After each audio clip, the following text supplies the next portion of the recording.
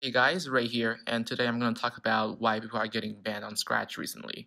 Unless you've been living under a rock, then you probably know what I'm talking about. Now, I haven't seen someone to actually address this situation, so that's kind of the point of this animation. So I first heard of this issue when many of my followers began to warn me about YouTube on Scratch.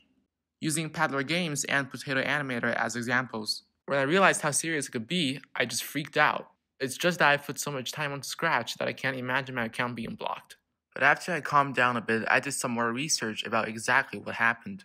I was able to get in touch with Paddler Games and we talked about how and why he was banned. As it turns out, he and other Scratchers were banned because they posted links to their YouTube streams on Scratch. If you go to community guidelines, there is a line saying that Scratch didn't allow posting links to unmoderated chats. So I guess they categorize the chat in streams as one of them. So I guess I'll never be doing any streams on my channel. Go and subscribe. Does it make sense? Yeah, I guess. I think a reason that Scratch is doing this because they want to have a good reputation for the website, which is very understandable, but I don't think that banning users are the best way.